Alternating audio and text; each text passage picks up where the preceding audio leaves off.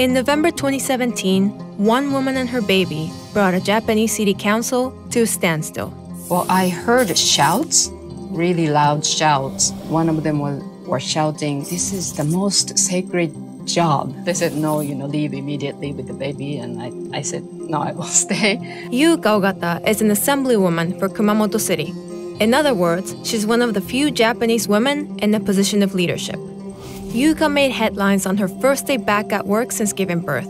She was kicked out of an assembly meeting for showing up with her newborn baby in her arms. I told them, Well, I am re- representing people like me, so I have all the right to be here. They told me, No, no, no, you know, they cannot open the session as long as there's a baby in the chamber. Over 60% of women in Japan quit their jobs after giving birth to their first child. And employers expect that, which is why they're less likely to invest in the career development of their women employees. What's worse, it's not uncommon for employers to demote or pressure women into quitting as soon as they become pregnant. This is known as matahara or maternity harassment. Yuka has long fought for women's rights in the workplace. But most of her proposals, such as having a nursery room built in her workplace, have been vetoed by her city council. And so she took her baby to work to confront her colleagues with the reality of motherhood. I want the people in politics, people in power, to listen to what we are saying, what women have been saying. We are really struggling and we want to have children, but we can't. Yuka's story highlights a larger problem in Japanese society the failure of womenomics. In a nutshell, Womenomics is Prime Minister Shinzo Abe's plan to save the economy by bringing more women into Japan's male dominated workforce. You see, more than a quarter of Japan's population is over the age of 65.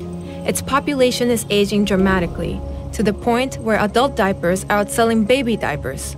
And not enough babies are being born to replace that aging population. That leads to an acute shortage of labor, and ultimately to economic stagnation.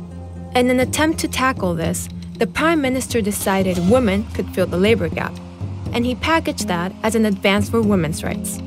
He said he wanted to create a society in which all women shine.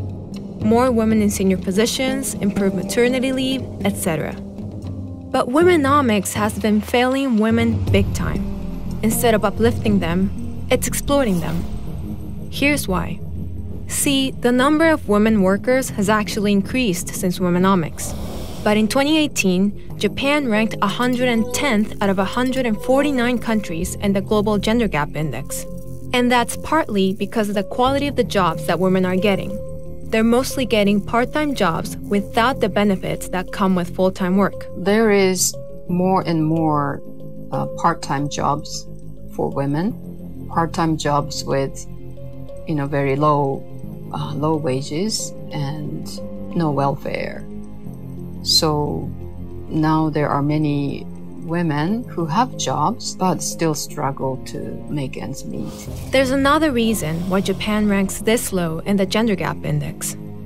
This is Prime Minister Abe's cabinet, the people making the nation's most important political decisions.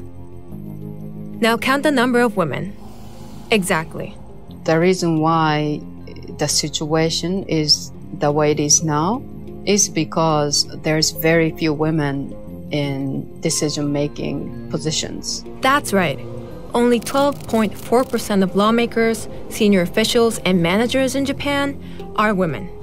And it wasn't until 2015 that large companies were finally required by law to set targets for increasing women in management and to disclose those results to the public.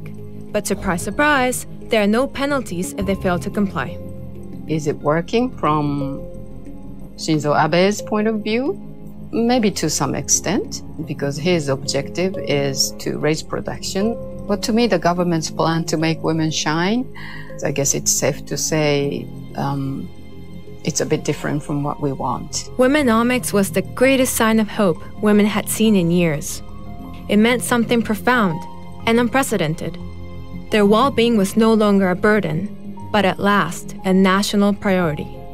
Six years on, there are more women in the workforce, but they're still losing out.